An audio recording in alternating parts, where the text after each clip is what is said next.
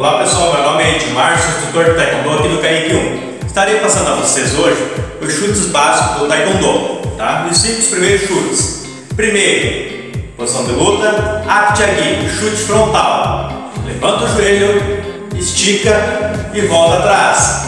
Aqui, chutou, voltou atrás. Esse é o Aptiagui. O próximo, vamos fazer o Bandal, chute circular para dentro. Tá aqui atrás, perna direita atrás, foi, virou, bateu e volta atrás. Aqui, bateu e volta atrás.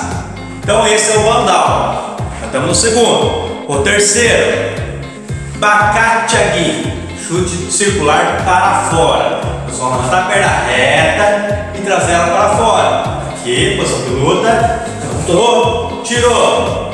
Aqui, levantou, tirou. Tranquilo? O próximo chute é ao contrário. A gente fez de dentro para fora. Agora de fora para dentro. Vamos lá também? Perna direita atrás e trás. Para dentro. Voltou. Foi. Isso.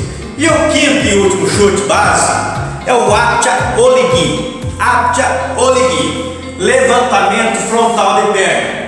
Perna direita atrás, só levanta a perna e volta atrás. Aqui, levanta a perna reta e traz atrás. Tranquilo?